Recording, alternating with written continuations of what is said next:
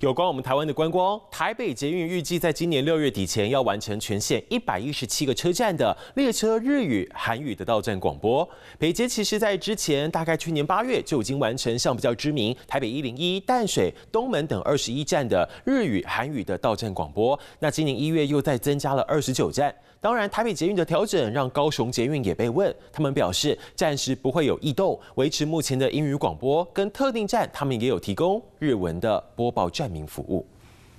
Hello，我是郑雅芳，想要抢先掌握最及时的新闻资讯吗？赶快订阅、按赞、开启小铃铛，锁定华视新闻 YouTube 频道。